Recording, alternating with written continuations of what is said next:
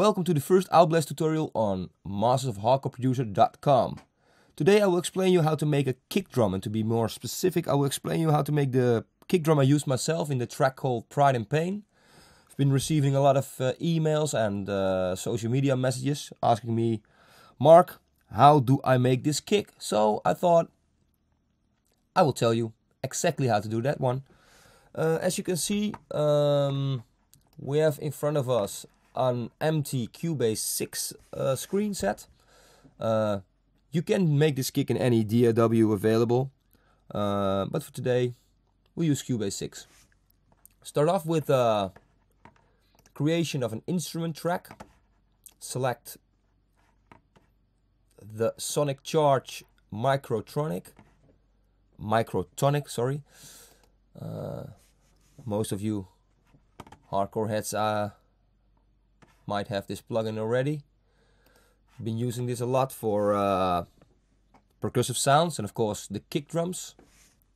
Uh, let's open or initialize a preset so I can show you how to make this make a nice kick drum from the beginning.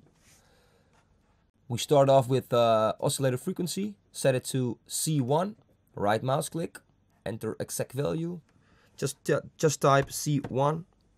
Um, I want a triangle oscillator waveform, so that's the center one.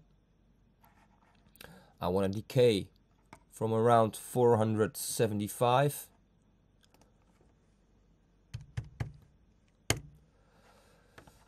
I'll click this so I have it on my keyboard. I'm pressing an A now.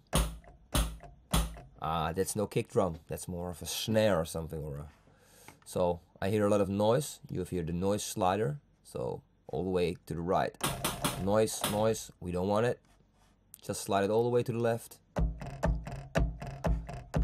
So it's it's a sort of a kick now.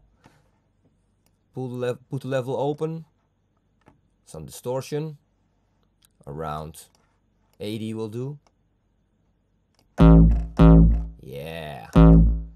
Still needs a, lot, a little more attack. So we're gonna modulate the frequency. Or we're gonna do some pitch modulation on the frequency.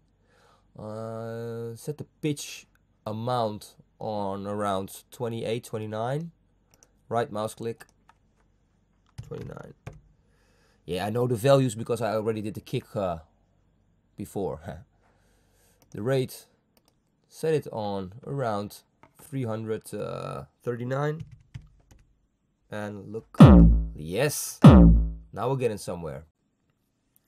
And for the final step on the microtonic VST we will go to the EQ section. It's around here. Here you have the frequency and here you have the gain. We'll set the frequency right mouse click enter exact value at What's nice? What did I do? Uh, let's try 797 hertz and we will add some gain around 18 19 hertz uh, dBs sorry 18 oh. let's see how this sounds that's nice here we have the foundation for our Pride and kick. Let's move on to step two. We're gonna add some juice to the to the kick drum. So we go to the insert slots and on the first insert we insert a tone 2 Filterbank 3. I'll close the microtonic. Get rid of this transport bar. Okay, here you have the filter bank 3. We reset this one, so all is back to default. Um, in filter slot 1, we see a low pass 30 dB filter, low pass filter. We set the frequency of that filter to 1024. We close the resonance, open it a little bit. We add another filter in slot 2 we add a bandpass 15 dB filter. We open it 539 hertz. Yes, resonance closed, resonance closed, and in the routing section of the filter we set it to filter 1 plus 2. Then we get this. And you're like, what's that? That's a filtered kick. So now we're gonna add some distortion. It's this section in the plugin. It says distortion, so it speaks for itself. We select the tube amp, we open it, the drive, not fully, but we close a little bit to hear and get this sound. And now we're talking hardcore. Yeah. Really, don't open the drive fully because then it really sounds too harsh. When you just reduce it a little bit, you get this nice warm vibe to it. You hear?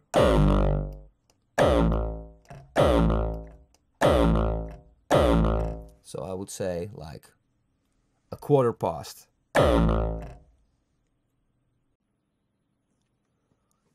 Before we go to step three, we first close this one. And we move on to the insert slots on the Microtonic channel.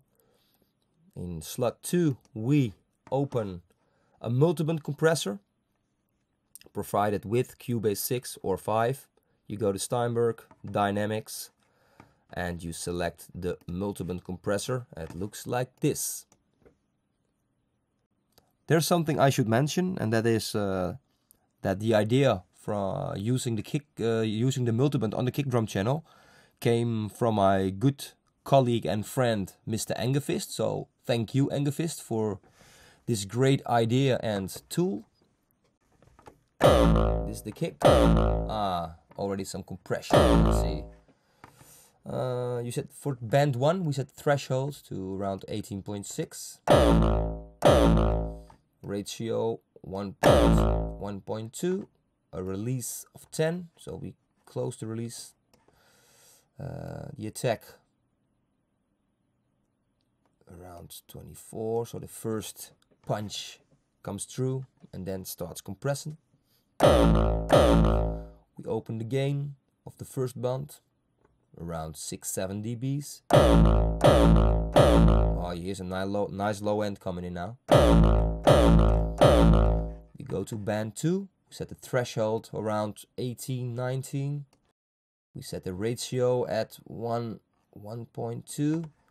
The we close the release and the attack we set it around 55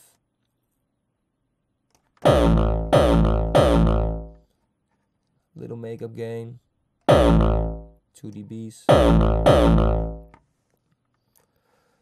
I adjust the band a bit so I make it a little bit how can I say smaller? A little bit. Quite some. Let's see what happens. Around 6 700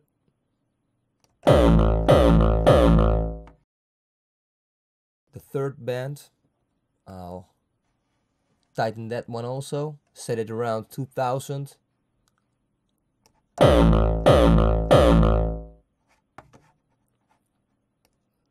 band 3 ratio 18.6 sorry threshold 18.6 uh, the ratio 1.2 attack. Fairly slight open attack 63 close the release again. We'll open it a bit. 44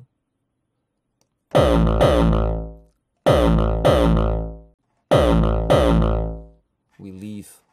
No makeup gain for band 3 we go to band 4 we do nothing. Well the only thing we do is to uh, remove some high. So we uh, decrease the gain a bit, like 1, 2 dBs. And I think we're getting somewhere now. We're really close, as you hear.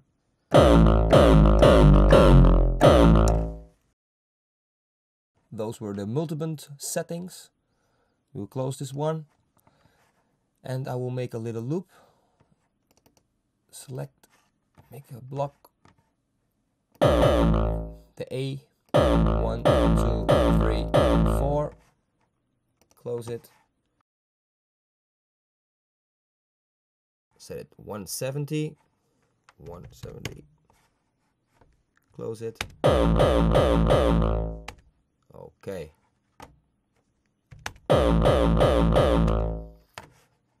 That sounds nice. Um, last step for the microtonic. On insert slot 3, we will insert a compressor, universal audio, power plugin, 1176. If you don't own a UAD DSP card, but you do own a Waves bundle, you can try and use the 1176 by Waves. It's quite similar, or it's similar. It's a uh, similar emulation of the original uh, UREI 1176. Great compressor.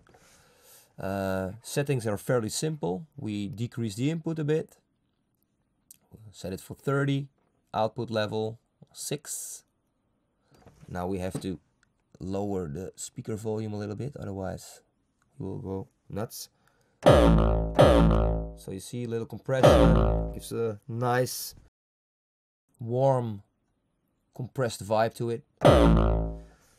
Um, you might find the sound a little bit awkward or you might find the sound a little different than you expect but that's because uh, I'm recording this uh, using a microphone so you're hearing the the the signal coming out of my speakers going into the mic. So my apologies for that. I will see if I can uh, do this different in uh, coming tutorials but we have to do it like this for now. Then the final step it's uh, the cherry on top. What we'll do is uh, we'll add uh, an audio track. Boom we add it. And what we're gonna do is we're gonna add uh, uh, a, a second kick a little kick on top of the the main kick we just made. I've already a small sampled kick in my pool so I'll, I will cut this this is a real small kick. I will solo this channel so you will hear I don't know. You hear it's a really short punchy kick. I sampled somewhere to be honest I don't know where but uh, it's in my library and I use it a lot.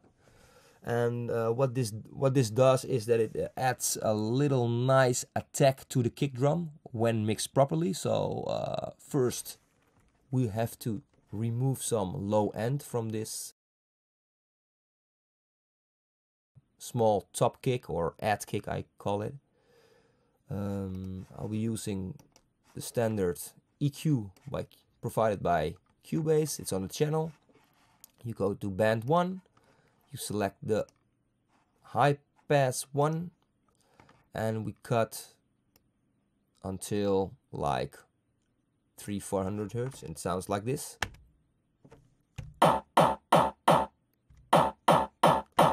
You hear? We put pull the fader all the way down. We de-solo it the track and let's hear what we can do.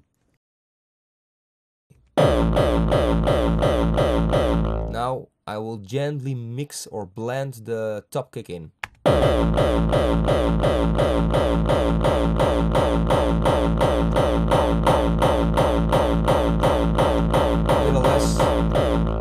Have it, your Pride and Pain kick.